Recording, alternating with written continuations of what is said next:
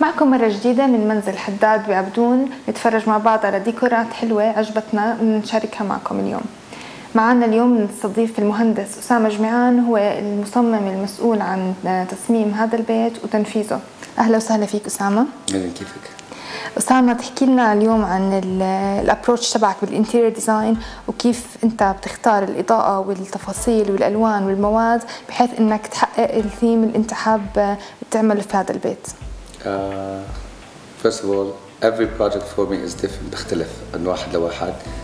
Uh, أولا كل مشروع له هويته الخاصة بالنسبة لي. إذ يختلف كل مشروع عن الآخر تبعا لاحتياجاته. أما عن المنحنى التصميمي الذي أتخذه بالعادة لأي مشروع ديكور داخلي ينبع بداية عن متجهات معمارية بحتة كوني مهندس معماري بالأصل وليس مصمم ديكور.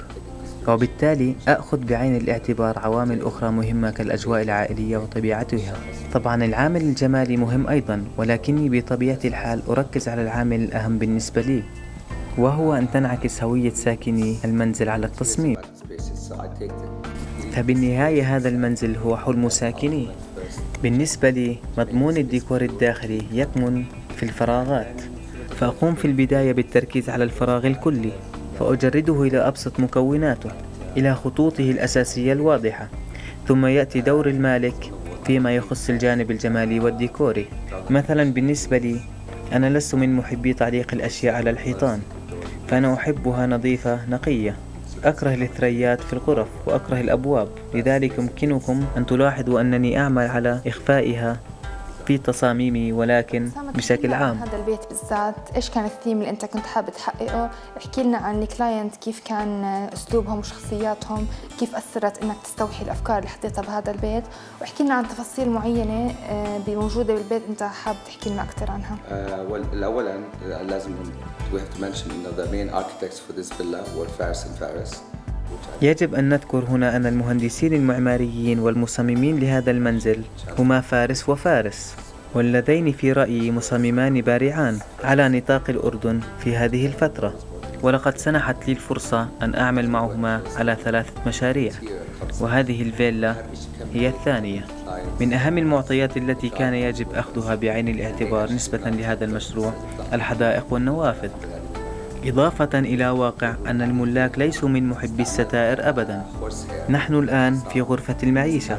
نلاحظ أن الشمس هنا زاويتها قوية جدا. استعملنا فيها ألواح يابانية مشدود عليها شعر الخيل. خففت من حدة أشعة الشمس وأضفت رونقا مميزا للفراغ. Uh, the main salon, you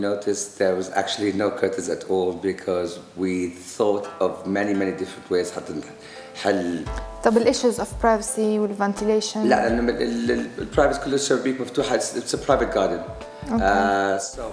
أما في غرفة الضيوف الرئيسية فكما لاحظتم لا يوجد ستائر فالمنزل مخفي بحدائقه الخاصة إضافة إلى أن معظم المنازل حوله منسوبها مختلف. لذلك يستحيل أن يتمكن أحد من الخارج أن يرى ما في الداخل وبالتالي حققنا شفافية بين الفراغين. ولكني قمت بإقناعهم بضرورة الستائر في غرفة الطعام فكما تعرفون هنالك في تلك الغرفة حيث اللذة وضوء الشموع شعرت أن عدم وجود الستائر سيترك الفراغ عاريا استعملت الخشب كثيرا لأغطي الأبواب وأخفيها ليظهر الفراغ بخطوطه الواضحة النظيفة.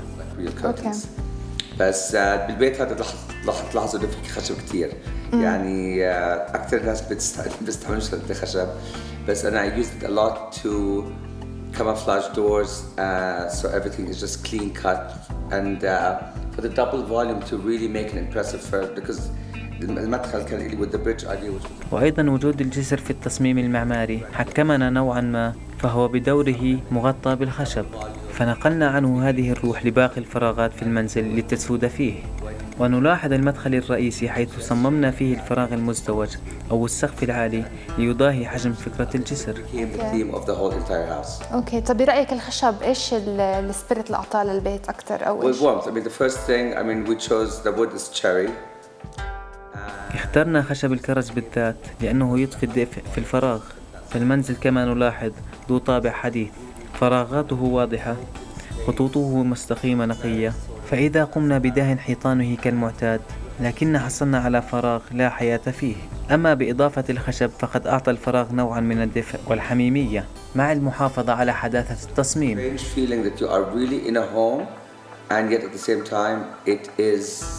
It's modern and clean cut and spacious.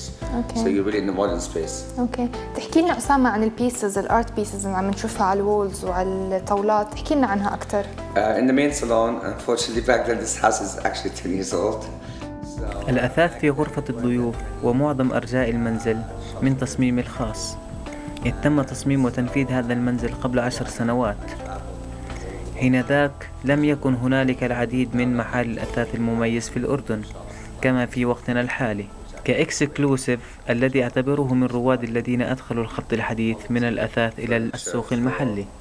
اللوحتين الرئيسيتين في هذا المنزل هما أعمال المهندس المعماري والفنان عمار خماش. والقطعة الفنية عند المدخل الرئيسي من تصميمي بالمشاركة مع شريكي كريم شعيا وهو مصمم صناعي من لبنان والذي أفتخر بأعماله. أما باقي القطع الفنية في هذا المنزل فهي من مصر thank you اسامه welcome thank you very much I hope you enjoy the house ريت- thanks bye